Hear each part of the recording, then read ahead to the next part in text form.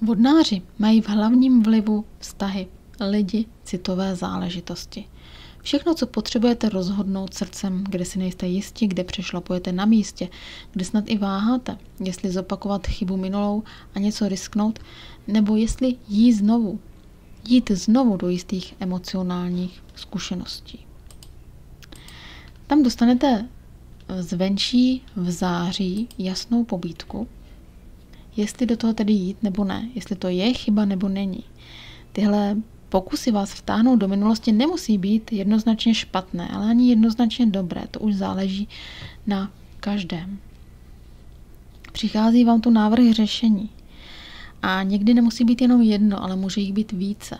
Celkově by vás to ale mělo potěšit, nabudit a ať se rozhodnete pak na té křižovatce jakkoliv, tak toto rozhodnutí ve vás bude sílit. To také znamená, že energie září je od své druhé třetiny pro vás stále silnější v jisté urputnosti něco udělat, něco změnit, něco rozhodnout, do něčeho se dát. Je to skvělý čas na vyřízení čehokoliv, co čekalo na správný čas, na diskuze, na změny všeho druhu. Dá se říci, že je to pár týdnů, které díky rozhalující se oponě nových informací a vašeho vlastního nabuzení a ustupující mlze v okolí můžete toho hodně vykonat. Hodně schůzek, hodně životních změn, hodně novinek, pěkně schůdek po schůdku.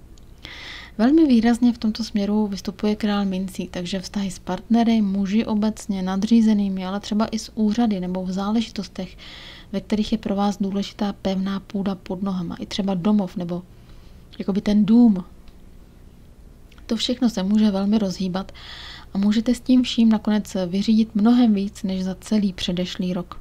Máte totiž jasno, kam míříte.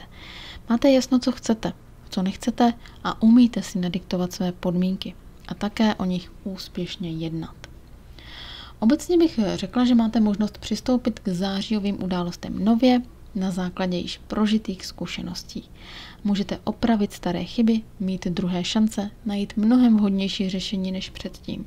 A překvapivě, ač velmi akční a důrazný měsíc pro vás by měl být příjemný, dokonce můžete zjistit, že tuhle pevnou vládnoucí ruku vaše okolí čekalo a přivítalo ji. Tak krásné září!